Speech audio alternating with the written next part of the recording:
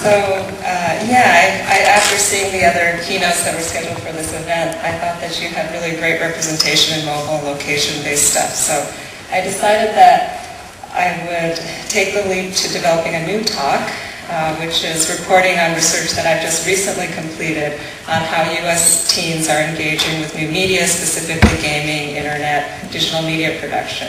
So I'll start with an overview of the study, the methods, our frameworks, and then present some of the details of the ethnographic work.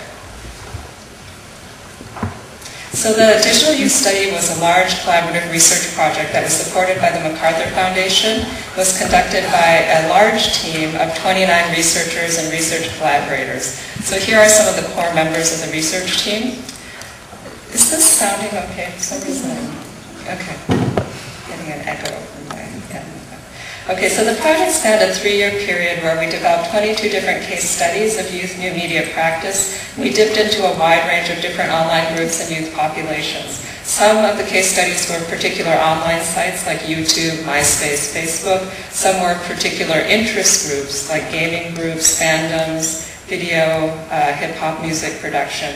And in some of the case studies, we found youth through local uh, institutions uh, like uh, parent networks, schools, and after-school programs.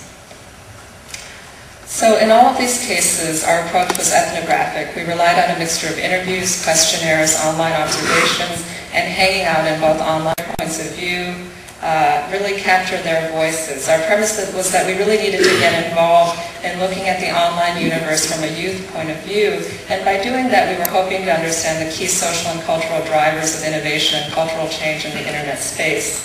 Our perspective was in many ways a classic ethnographic one where we relied on observation and deep hanging out and we were positioning ourselves as translators of sometimes exotic and unfamiliar kinds of social practices by marginalized social groups. But in other ways, our work was quite unconventional by classic ethnographic standards. As you probably know, it's relatively rare to have ethnographic study that's this broad in scope and collaborative at this scale. Unlike quantitative surveys, we weren't really out to get a representative sample of youth, but we were interested in expanding beyond an approach which is typical in ethnography, which is looking at spotlights of different case studies. And what we wanted to do was to combine that kind of deep ethnographic looking uh, in a way that combined uh, those cases with analysis across cases in a way that got at how different subcultures and youth groups were defined in relation and in opposition to one another. So my argument in this work, as well as other studies of network practices that I've looked at, is that we really need to develop new kinds of methods and modes of analysis where we are looking deeply at the texture of culture and experience while also being able to trace how these experiences are embedded and part of a broader network ecology. So this project is one effort at developing these kinds of methods. So that's a little bit of background on our research. What I want to do now is outline some of the broad socio-technical shifts that our work is responding to before turning to some of the description.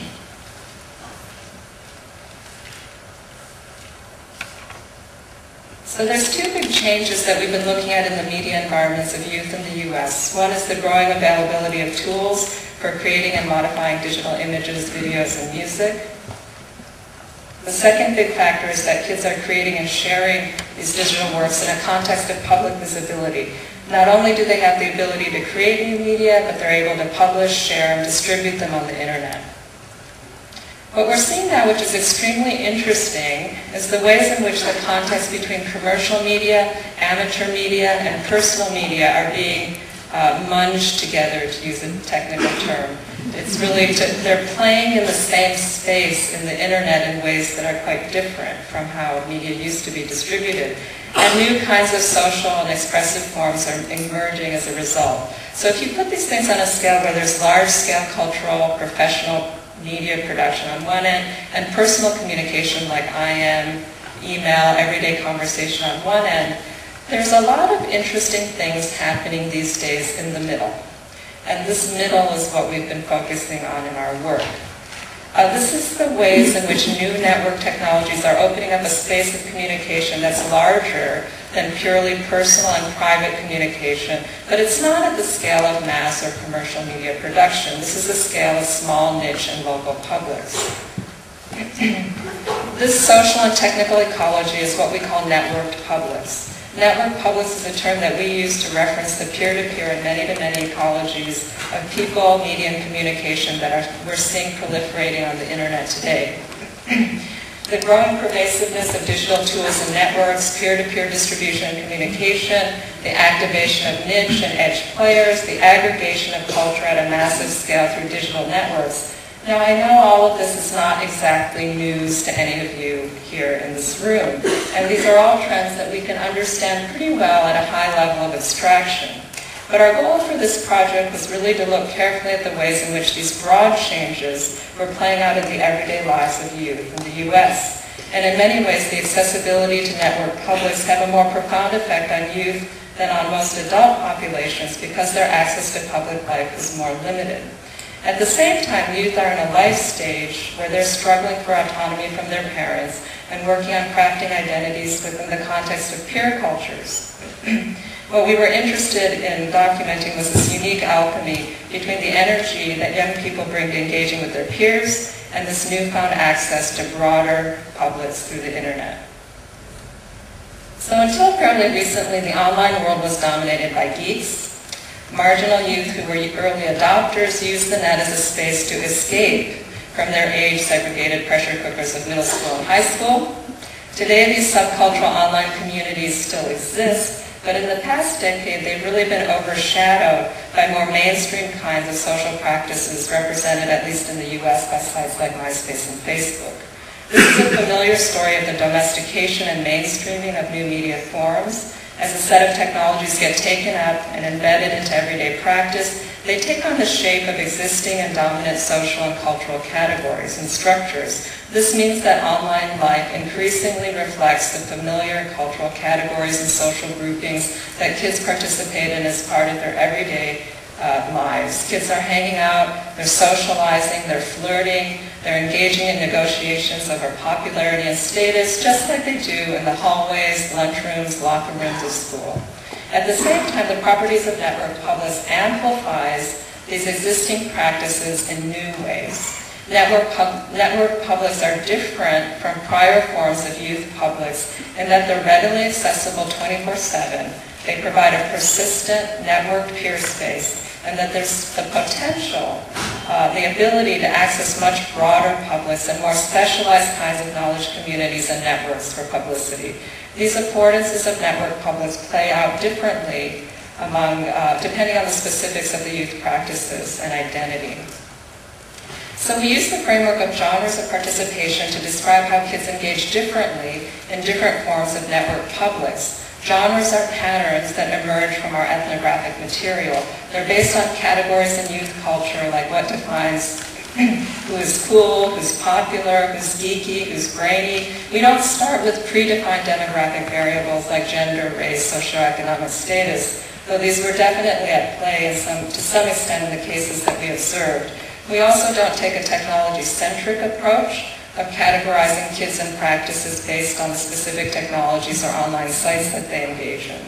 Instead, in a genre-based approach, we tie together the structure and content of media and the structures of participation with media in an interpretive cultural frame. So by describing these forms of participation as genres, we are hoping to avoid also the assumption that they attach categorically to individuals. So just like an individual can engage in multiple media genres, you might like action in some contexts, you might like romance at other times, youth will often engage in multiple genres of online participation in ways that are specific to the situation or the social group they're engaged in. Genres of participation allow us to identify the sources of diversity in how youth engage with new media in a way that doesn't rely on a simple notion of divides or ranking of more or less sophisticated forms of media expertise. This is about identity, culture, practice. It's not a ranking of skills and access. so in our work, we identified a range of different genres of participation, and that varied on the specific domain that we were looking at. But here I want to outline the main fault line between what we identified as friendship-driven and interest-driven genres of participation. So I want to start with the friendship-driven side. So friendship-driven participation, it leads to the most common kinds of practices that we see in young people's online behaviors today. So for most kids, network publics and peer-to-peer learning is about sites like MySpace and Facebook. It's about going online primarily to see friends and making digital media is part of this hanging out online. These practices of status display, flirting, gossiping, these are the kinds of peer-to-peer sharing and reputation building that's been ubiquitous among kids ever since we put them in age-segregated contexts of institutionalized schooling. And all of this is being reproduced online today. Despite the perception that online media are enabling teens to reach out to new kinds of social networks online, what we've found is that for the vast majority of teens, the relations fostered in school are by far the most dominant in how they define their peers and friendships, both online and offline.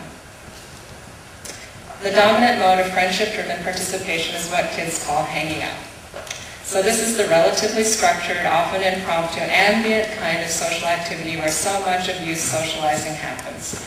Though young people will almost always say that they prefer to hang out with their friends in real life, oftentimes the online space is the only viable way for them to really keep in touch informally with their peers. In school, young people are subject to restrictions to the kinds of socializing they can do, and out of school, there's more and more restrictions on their mobility and ability to congregate in public spaces like the mall or the street.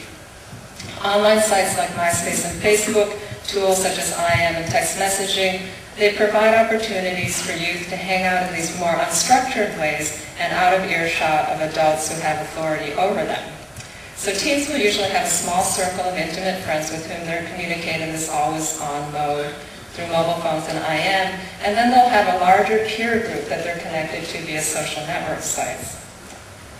In C.J. Pascoe's work, uh, she's one of the postdocs that was part of our study, uh, she did work on teens and intimacy, and she described how kids find friends and romantic partners and display those relationships online. So contrary to common fears, uh, flirting and dating are almost always initiated offline first in the predictable settings where you get together. The online space becomes a place to extend those relationships, to have private communication that's not under the surveillance of families and peers. And then kids also display those relations, relations online in highly selective ways. So here John is describing how the key to meet them is to meet them in person first, then Facebook, that you shouldn't do it the other way around. Uh, you, you shouldn't start a relationship online. Now, when teens do find romantic partners and friends through online channels, they are generally stigmatized. One participant in Megan Finn's study of Berkeley freshmen, she said that she had been very shy in middle school, so she started meeting people through IM. But she says her classmates think she's weird and label her a freak. So because she's meeting people online. So this perception that it's creepy to meet people online first is reinforced by public discourse and moral panics over internet safety. CJ's work clearly shows that there's a strong social norm among teens that the online space isn't a space to find new partners. But there's still some important exceptions. One is the case of marginalized teens like teens whose romantic partners are restricted for religious or cultural reasons, or for gay, lesbian, and bisexual teens. This is an excerpt from a Facebook posting by one gay teen. So he says, every time I have a crush or something, it doesn't work out. He's not gay, not enough time, etc. I'm not a downer, but I'm just realizing that if a straight person's chance of compatibility is 1 in a 100 and only about 3 in a 100 are gay, then the, and the compatibility is still 2%, then my prospect is 0.03 in 100 or 3 in 10,000. That's not very encouraging. So as a result of this posting, one of his friends set him up on a date with another gay teen. This is not about teens reaching out to online networks and publics for random social encounters. They're using the expanded possibility of online communication selectively to overcome limitations they may have in their given local social network. For the most part, friendship-driven network publics like MySpace and Facebook are tightly intertwined with the local given context of school, that kind of intense give and take among peers that most of us probably remember from high school. When somebody comments on your MySpace profile, you're expected to comment back. When somebody puts you on their top eight list, it's awkward if you don't do the same. Teens scour their peers' MySpace profiles for clues to what's cool and uncool and how to position themselves as unique individuals while also mobilizing shared markers of status. Now we tend to think of this kind of peer culture in negative terms, as peer pressure. But this kind of peer review or reciprocity is also a context of learning and engagement, where kids are evaluating and negotiating status with one another as peers and co-participants in a networked public. And this is highly motivating. Unlike their relationship to mainstream media, unlike their relationship to content activities that adults provision for them, these smaller scale local peer publics are the ones that they participate in, not just as consumers of knowledge and culture, but as producers and distributors of content, knowledge, taste, culture. They make decisions about how to craft their profiles, what messages to write, what kinds of music, video, and artwork they want to post, link to, and forward. And these choices about what media to display and circulate are conducted in public spaces visible to their peers that have direct consequences to their reputation in the social circles that matter to them the most.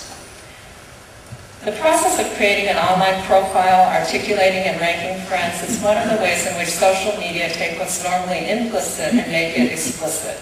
And this is where network publics really do change some of the dynamics of how teen peer cultures operate.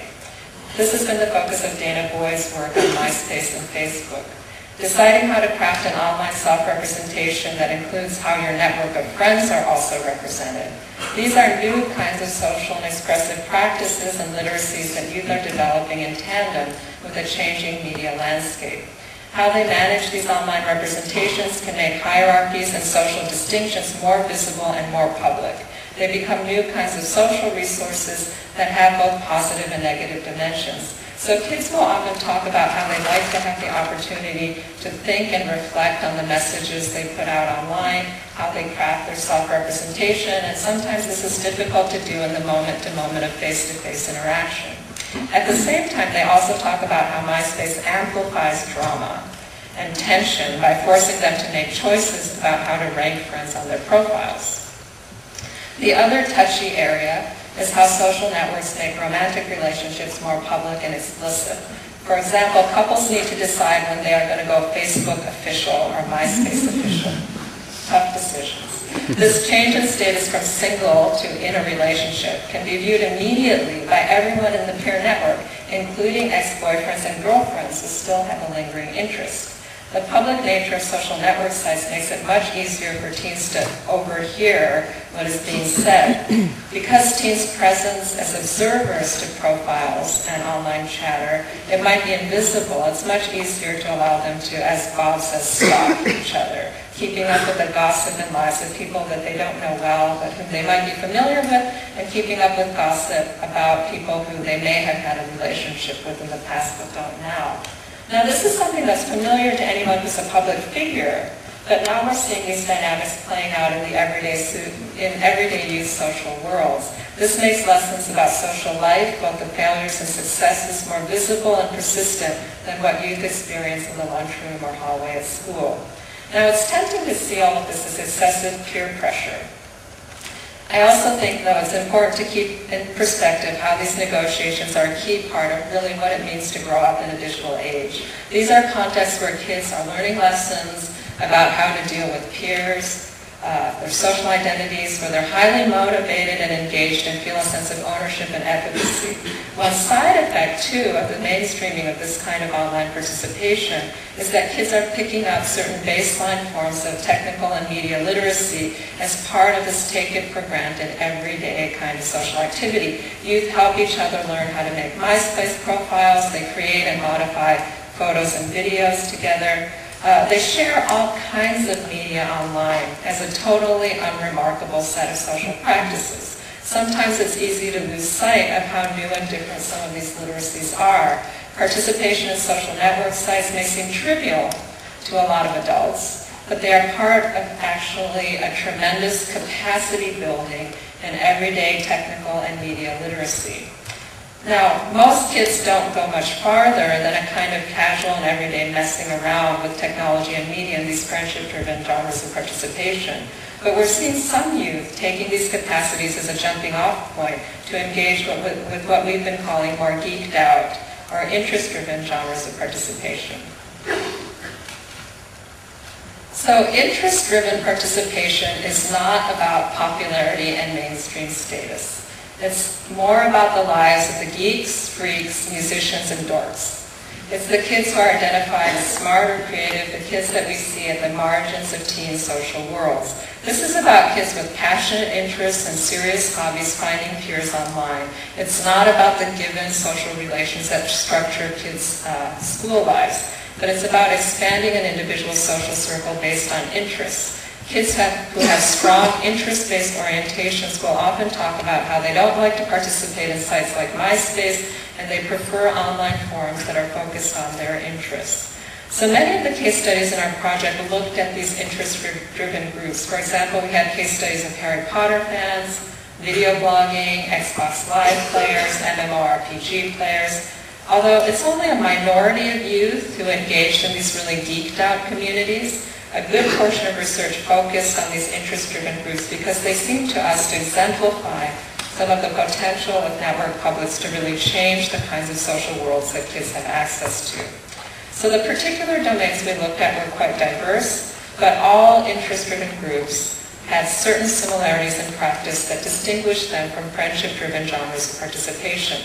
Unlike the friendship-driven side, interest-driven participation involved expanding social networks beyond local given social groups. It also involves specializing and geeking out on niche knowledge domains. And finally, it involves a potentially bro much broader context of publicity for disseminating media that youth create. So in the time I have remaining, I'm going to deep dive into one particular interest-driven case study, which was the focus of my own fieldwork.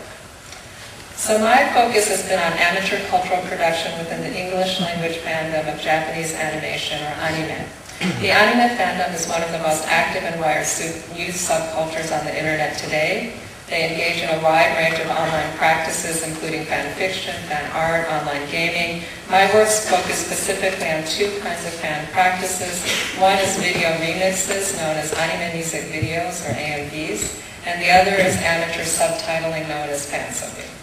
So fansubbing is in many ways the backbone of the online anime fandom. Though English language fans, they do consume a great deal of media that is legally and commercially translated and subtitled. But a large proportion of anime distribution happens through amateur fan networks, where fans will do the translating and subtitling of work before it's commercially released. In many cases, fansubs are the only foreign language source of anime that fans have access to for particular series. And many anime series aren't uh, released outside of Japan or only in large markets like the English language market. So in the early years of the anime fandom, fansubbers usually worked in local anime clubs. They distributed videotapes to other clubs around the country. After the advent of digital distribution, the digisubbing scene exploded and fan-subtitled works reach millions of fans around the world in multiple languages. So there's dozens of different groups in the scene with different reputations. Some are known for quality, some are known for speed, some are known for different genres of anime. So the speed subgroups that translate the most popular anime series, they'll generally try to turn around episodes within 24 hours of broadcast in Japan. They'll sometimes have people working in assembly line fashion in different time zones around the world so they can expedite workflow for faster release. Combined with sophisticated peer-to-peer distribution networks that give fans instant access to these episodes, these groups reach hundreds of thousands of fans within hours of online release.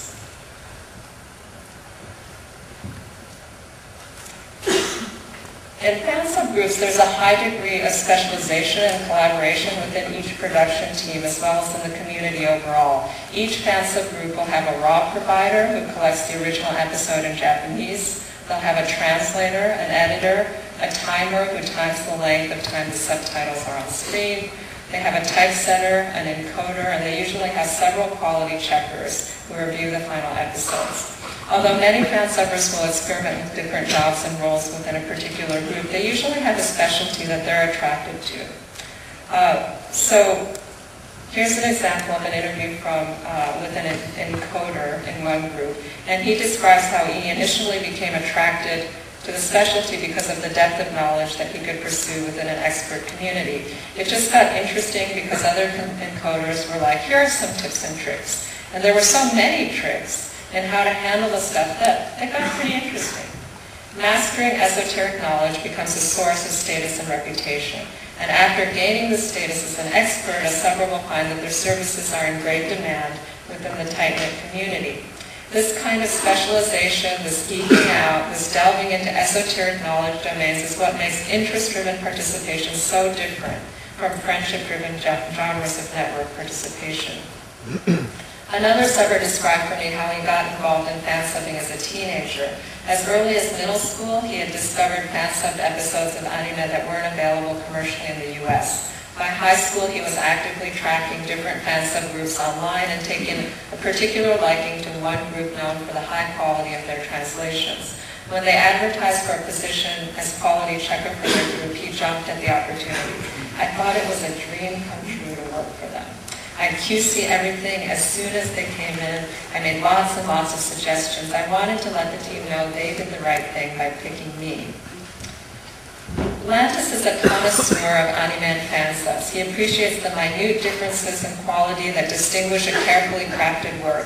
Nobody in the fansub world gets paid, but like other subbers, Lantis takes his own work very seriously. He knows that thousands of people will be viewing the episodes he's worked on.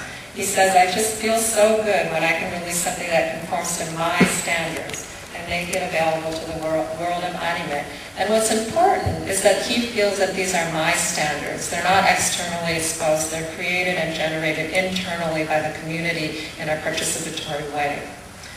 Atlantis isn't the only one who cares about quality in fan subs. Although the industry might dispute this, most fans believe that good quality fan subs far exceed the quality of professionally produced subtitles the kind of craft, the kind of care, the kind of love they put into these works are really quite different from the professional styles. Sites like this fansub comparison site, they'll pick apart and critique the details of different fansubs, looking at the quality of the typesetting, the translation, the fonts that were chosen, the way the episodes were encoded, and they compare different fansub groups along these sort of detailed vectors. This peer-based ecology of review and critique is how the community develops and maintains standards. Just as with friendship-driven practices, this is a form of peer pressure and reciprocity, but it's one that's oriented to improving craft and media production.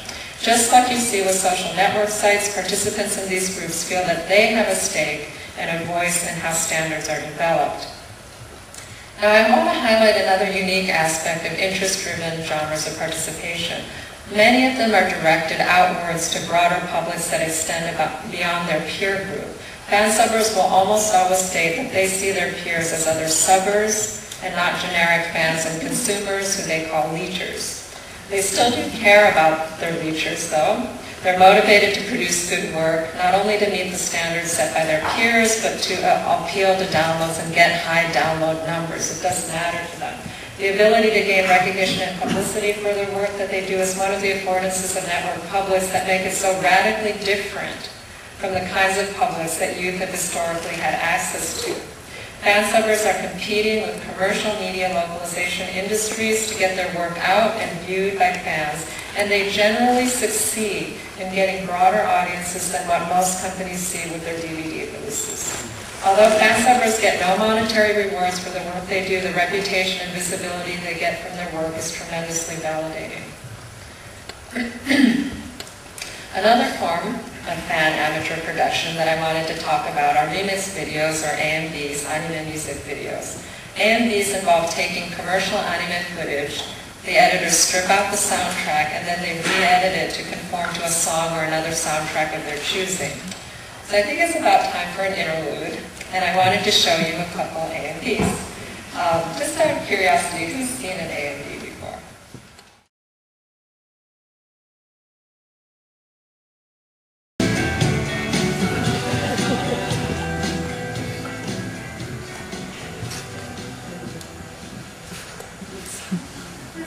So hopefully that gives you a little bit of a sense of what this work is like. Um, I want to describe a little bit of the practice now. So like in the case of fan subs, AMV makers, they start off as anime cons consumers and then they start moving into an identity of a media creator through their engagement with the online communities. This is an interview from an 18-year-old Brazilian A and B creator who goes by Geppetto. He describes his trajectory beginning with the first time he ever saw an AMV. His friend had given him a CD that had a little AMV, uh, it was a CD of anime episodes and it had some AMVs in as a filler. And then he says, I was amazed at the idea that such a pretty little video clip was made by a fan just like me. I was really affected by the video. I put it on a loop and I watched it several times in a row. Then he went on to make his own video after seeing this first AMV. My video took about two and a half hours to make and it turned out extremely horrible, but I loved it. So I asked, it sounds like it was really fresh, exciting to discover, and he says, yes, very exciting. Actually, my heart is racing right now just remembering it. Of course, I'm a weird person, but it's still racing. it gives you a sense of some of the passions that these kids are bringing to this. So the story that Geppetto tells of being a fan of the media series and then discovering a fan-produced derivative work is a common narrative in my interviews with fans especially those involved in creative production. They describe this moment of revelation, discovery, which is also, and this is really important, it's a moment of identity. That this was something created by a fan like me. It's not by an unattainable professional. At that moment, many fans are inspired to take on creation on their own. It's very unlike their exposure to professional media work, where they have this much more distant relationship as an audience. In the case of fan-based production, they will often identify not only as an audience, but as a potential peer and co-creator. And this is really what it means to be part of a networked public and not a traditional media public. Geppetto made his first AMVs on his own by looking at manuals and using the editing software that shipped with his PC. Just like with fan subs, though, being a participant in the community requires commitment and the acquisition of specialized knowledge. A few years later, Geppetto is now an active member of the AMV community online, and he looks to the online community for ongoing feedback and help. And he's become an expert himself. He says, I love the forums, I love the chats, I love answering questions and having mine answered in turn. So again, this, these conditions of reciprocity. I could spend 24 hours straight discovering AMVs without so much as a coffee break. So he did manage to interest a few of his local school friends in AMV making, but none of them took, it to, took to it to the extent that he did. He relies heavily on the online network community of editors as sources of knowledge and expertise and for models to aspire to. In fact, in his local community now, he is known as a video expert by both his peers and adults. After seeing his AMV work, one of his high school teachers asked him to teach a video workshop to younger students. So he jokes, even though I know nothing by the standards of the online group, in his local community, I am the greater god of video editing. In other words, the development of his identity and competence as a video editor it never would have been supported purely within his local community. That expertise doesn't exist there. It was the network relations mediated by the internet that led to this ongoing peer-based learning and specialization. The main site that Geppetto accesses to connect with the AMV community is animemusicvideos.org. It's a discussion and video distribution site that was handcrafted by AMV creators to meet their specialized needs. The AMV community doesn't like general purpose video aggregator sites. In fact, if you type YouTube in their discussion forums, it's automatically censored.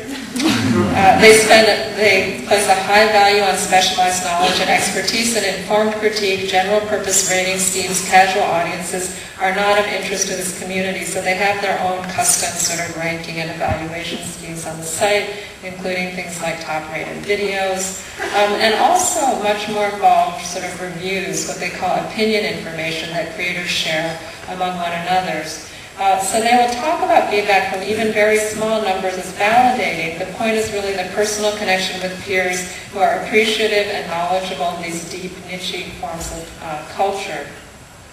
And at the core, this is an orientation that sees media creation remix as a process of communication with a specialized community of practice. This is the hallmark of interest-driven genres of participation. Absolute Destiny another AMV creator, describes the steps that it took him to become uh, one of the most recognized names in the AMV world today. He describes how he started by dabbling in video creation. He, you know, engaged with the text as a viewer, and then he started slowly engaging with the broader social ecology around AMVs. So he says, you know, first you try to make something, you show it to a few friends, maybe you'll take the leap to getting to know some people online and uploading it to the org, animemusicvideos.org. You might enter a competition. And then he says, when you decide to go to a big convention and meet other AMV creators, that's another level again. At these conventions, when we get together and we talk about each other's videos, and you start to understand that the videos are actually conversations among AMV creators. You wouldn't necessarily know that from just watching the videos. In a lot of ways, this description reminded me of my own induction into the esoteric and niche knowledge communities of academia where one traces a path from engagement with text as a reader to becoming an apprentice as a graduate student and a writer, and finally to engagement with the richer social ecology around knowledge and sharing once you become an actual peer within the community. What's different here, though, is that these practices of socialization and deep knowledge sharing